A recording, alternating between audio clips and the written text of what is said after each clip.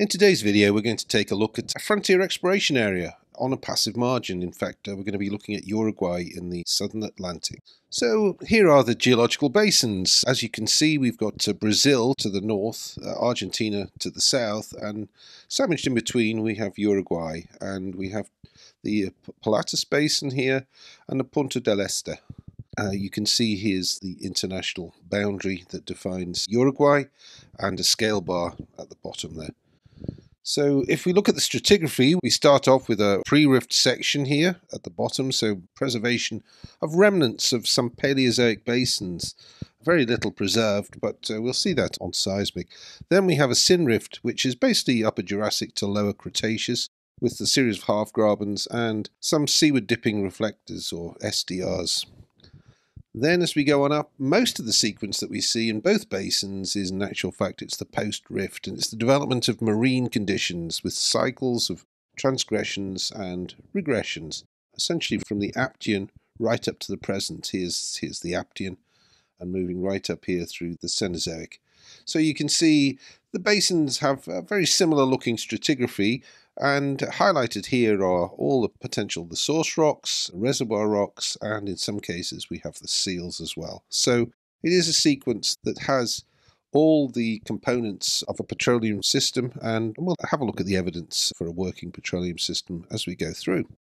So here is the structural setting for the region essentially there are two trends this west northwest east southeast trend which is the Punta del Este basin grabens and they were developed um, mid Jurassic to early Cretaceous and the second trend we have is more of the sort of the Atlantic opening trend which is the southwest northeast strike so here is the three wells, and we will talk to these wells and we'll have a look at each of them in details. Now, these are the only three wells drilled offshore Uruguay. So there is not a huge amount of data to look at. So here's a seismic section running from the northwest down to the southeast. And we can see here's two of the wells, Lobo and Gaviotin. And you can see that they've actually gone down through here, through the Synrift section. Essentially, Lobo has got quite a long way down through the Cretaceous here. And Gaviotin looks like it almost touched the pre-rift uh, sequence here you can see the basin building out and a lot of the section, certainly as we go more distally, is actually tertiary sequence. A lot of the amplitudes we see down in the Cretaceous here, they've not been drilled and they are very deep. So there's a thick undrilled sediment sequence uh, offshore. But a, a, number of events, in fact, uh, some events in here which are bright and could be of interest and the other thing that we see, we see a lot of these uh, seaward dipping reflectors down here, which are interpreted to be swarms of dikes, which, you know, characteristic of a transition to oceanic crust. And the dikes fill the gaps that open up with the strain of actually stretching the oceanic crust as it moves away from the mid oceanic ridges. Here's in more detail both the Lobo and the Gaviotin wells, and you can see Lobo, it's actually, by the looks of it, it targeted this sort, sort of tilted fault block here. It's in shallow water, TD to 2,700 meters, whereas Gaviotin, 28 kilometers away, it's targeted this sort of anticlinal or four way dip closure in 56 meters water depth, and it drilled down to 3,600 meters. So what we can see in the sections here, we can see that the well encountered both Cretaceous sands and shales, and there were some uh, methane inclusions, and the occurrence and frequency of these methane inclusions are indicated by these black lines in both of the wells here. So, looking in more detail, we can see that under a microscope here, in fact, at that scale, I guess it's an electron microscope, that we're seeing uh, petroleum inclusions being identified in here. So, you know, is this in itself sufficient indicator? a, working petroleum system? Well, there are some other uh, other indications here, and, and it's this crossover here. So this is the density log from 1.65 grams per cc up to 2.65, and this is the neutron porosity from 0 to 60% porosity. Now, where we get this crossover, and we get the density essentially to the left of the blue uh, neutron porosity, then this is often an effect which you see with gas. But when I kind of try and line this up, it's this is the resistivity log here, and you know, it seems to be high resistivity, but throughout the entire sequence, and and also on the gamma ray, which is indicating a sort of sandy facet, it doesn't appear to be quite at the top of the sand, and likewise in this section down here. You can see that again, it's not quite lining up with this sort of more shaly interval, the shale break into the sand can't understand quite what this, you know, would like to see what the gas shows were on the mud log to see if this was indeed a live gas indication in the Gaviotin well. Having a look at the uh, Basin now, uh, we can see that there tends to be less sediment actually built up on the shelf, but you can see uh, that it built out into the Atlantic Ocean here. And the Raya 1 well was drilled by uh, TotalEnergies. At the time, it was the world record breaking water depth for any well, and that was at uh, 3,404 meters. Now, it's since been beaten, and you can see that in our video all about uh, depth. We talk about uh, how we measure depth in, in wells. We can talk about the well that's actually deeper than Raya. But it TD'd in the upper tertiary. So you can see really didn't kind of encounter too much of this lower tertiary and stopped well short of the Cretaceous in here. So again, you know, we can see the, the interpretation here is for the Syn Rift, the pre-rift not shown here. Here's the Cretaceous, and this is all the post-rift sediments building out into the region. Now, in more detail, TD'd at uh, 5,856 meters uh, back in 2016, and uh, I guess it was targeting this anomaly through here.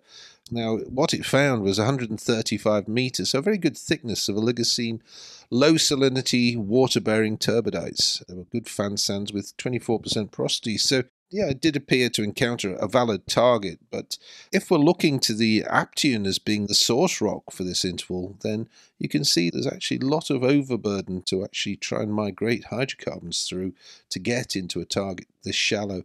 So uh, maybe the more prospective sequences is actually within the Cretaceous here. There's the Aptian source rocks there you can see this must be some kind of a amplitude extraction. And what you can see is that the Raya well one, uh, this is the, the highest anomalies region down here. You could see that, you know, you could make a case that perhaps if this is a surrogate for some kind of a structure or pinch out, that, you know, it's maybe not in the optimal location to identify this. Although on the seismic, you know, it looks like it's in a reasonably uh, a valid test of this particular interval and I'm not sure if we can get much further up dip. So anyway, that's the Raya 1 well.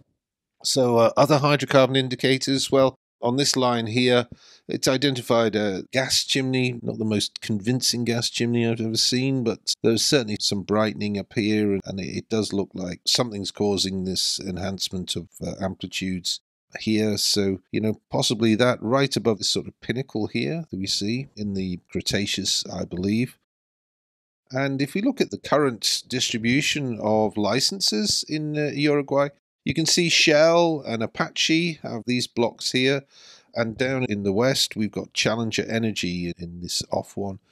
Now, there are three blocks currently available blocks three, four, and five. If companies are interested in acquiring acreage, then all you have to do is approach the regulator. So here are the leads and opportunities that have been identified. You can see in particular in blocks four and five, there are lots of leads and lots of opportunities that have been identified. And we'll come on to that. But um, for now, here is the seismic. So you can see in pinkish purple color, you can see the 3D. Uh, also, you can see the distribution of, of 2D lines. Now, if we overlay, these are the blocks that are, are currently available. And you can see that in particular, some great coverage in blocks 4 and 5 with 3D, to a lesser extent in block 3, but certainly a lot of uh, information available quite a lot of seismic's been shot, and, and we've got some of this electromagnetic data as well that covers part of the region. And these are the companies that have been involved in, in shooting um, seismic across the region. And the data is being marketed through a multi client agreements, uh, so it is all accessible. Now, why this is becoming more relevant and, and interesting is to do with what's happened across the conjugate margin, across on the other side of the ocean. Now, um, this is the present day, and here we see the three wells that we've reviewed briefly here. And here's two of the recent discoveries. in the Orange Basin offshore Namibia. Now, we've not got La Rona marked on here, but uh, another discovery that Shell have made near to Graff. And we've got a sequence now that if we run this, you can see as we go back through time, we're doing the reconstruction here. This is 120 million years ago. And you can see at that time, these wells were actually quite close together. I think I might rerun that sequence because uh, it is quite effective.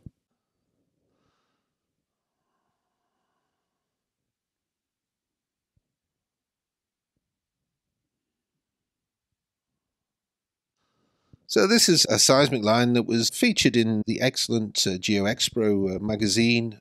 And this is a searcher. We can see it's attempting here to make this correlation from one side of the uh, South Atlantic to the other. And you can see that in the case of offshore Namibia, now, you know, we know that the Graff, Venus, and La Rona discoveries are all in the Cretaceous here, and certainly all underneath these series of, of toe thrusts that we get. And you can imagine that there was a, great thickening at the time that these were in place, and with that, potentially a elevation in the level of maturation of the, the underlying Aptian source rocks. But uh, when we go across to the other side into Uruguay, well, we don't have that same sort of uh, gravity sliding, so maybe the sediments here are not quite as thick as they are on the other side, or this slumping, this gravity sliding that's led to these toe thrusts has not operated on the region of this line. But we can see here that the Raya 1 well is certainly, uh, you know, it reached TD very, very much higher in the uh, stratigraphic section than the, the sequence that was, was actually drilled over in the Orange Basin in Namibia. This is uh, described as proven Aptian source rock. I think that you know there is evidence from other wells in, in the Orange Basin and so on into the Lüderitz and Namib Basin, but on this uh, side, well, it certainly looks like we may have uh, thick sequences down here. Now, this is uh, another interpretation, and this is from Spectrum, and it's a correlation between the source rocks. And here, identifying the source rocks as this sort of bland, this featureless uh, sequence here, and and seeing it as being a, a thickening. But I've seen in uh, other interpretations that a mature source rock is kind of highlighted as being potentially the brighter interval some amplitude anomaly associated with uh, seismic. Here, uh, an interpretation talking about up to three kilometers of source rock. Well, we'll find out in time, I'm sure. You can see that the line length here, you know, 221 kilometers on the ultra deep water Namibia side and a section of 248 kilometers over here. So it does look like there's potential for a source rock development. And now that we know that there's very much evidence for a working petroleum system with the extensive oil columns that have been encountered, both the Graff, Venus, and we understand La Rona, then every good chance that uh, it's developed right across onto the Uruguay side. We've talked about Venus and Graff, and we have videos out on those.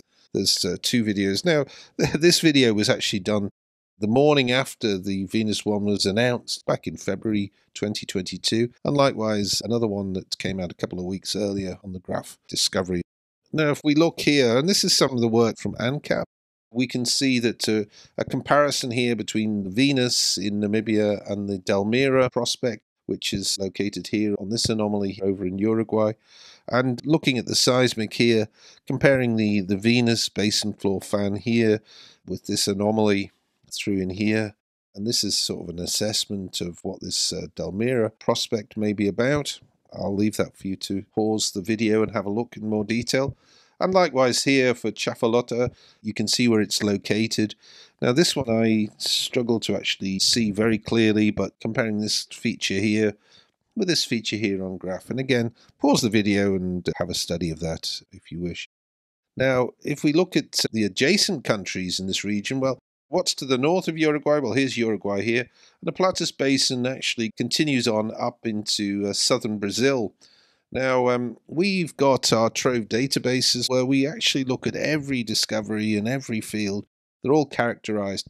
And in this graphic here, you can see that there's a zero here for the Pelotas Basin. So there are no fields or discoveries. In fact, there's only five wells, and they're all dry holes. They're, they're all kind of shallow, less than 200 meters water depth. So up on the shelf. no drilling has been done into the deeper waters in this region here. Uh, you can see, though, as we go further to the north and we go into the Santos and Campos basins, that these are very, very prolific with 76 and 103 discoveries, respectively. And then you can see the other basins, which really haven't been as, as well explored, but are the subject of ongoing exploration programs. So we really have very little information or well control immediately to the north of Uruguay. In fact, you know, these first wells here are of the order of uh, 300 kilometers to the northeast. So not a, huge amount of well control here. If we look to the south, well, just across the border into Argentina, YPF and Equinor have this block here, and we also have uh, Shell and Qatar Petroleum looking in this region here. Now, we don't have it on the map, but this is the approximate location here that we have the Cruz del Sur well, which is uh, in the Colorado Basin, which encountered some shows. This is the entry that we have for a number of the opportunities and wells that were drilled in Argentina. And you can see there is indeed lots of information on these wells that we carry here. So, in terms of prospects and leads, well, here they are in some more detail. Again, it's blocks three, four, and five currently open. You can see it's overlain with the water depth, so it's getting quite deep uh, quite quickly. Here's the location of the uh, Raya 1, Gaviotin, and uh, Lobo wells. And so if we look at these opportunities here, we can see that ANCAP have identified 21 prospects, and uh, you can see that uh, they range in ages from Cenozoic, post-rift, the Cretaceous. We've got uh, some uh, Cretaceous carbonates and uh, some Paleozoic targets as well in this off three block. In the pre-rift, there's uh, four-way dip closures, sort of anticlinal prospects. In the syn rift, half grabens and related structures. Transition play uh, consisting of these carbonates here. And finally, in the post rift, we've got the turbidites and stratigraphic pinch outs. So these are, are pretty much the yellows and, and greens. So within Trove, we have each and every one of these prospects. Here's the names of them. This is the uh, unrisked prospective resource size, the uh, lithology, representative depth for the opportunity, and uh, also the expected fluid type and the water depth. So we can see that all this information, it's all collated and we have details in each and every one of these prospects so they easily be compared, contrasted in one place.